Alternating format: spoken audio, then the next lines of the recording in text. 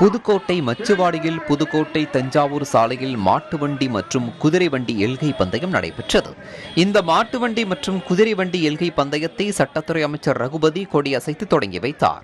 பெரிய மாடு சிறிய மாடு பெரிய குதிரை சின்ன குதிரை என நான்கு வகையாக நடத்தப்பட்ட இந்த பந்தயத்தில் புதுக்கோட்டை திருச்சி சிவகங்கை தஞ்சாவூர் ராமநாதபுரம் மதுரை உள்ளிட்ட பல்வேறு மாவட்டங்களில் இருந்து ஏராளமான மாட்டு வண்டி மற்றும் குதிரை வண்டி வீரர்கள் கலந்து கொண்டனர்.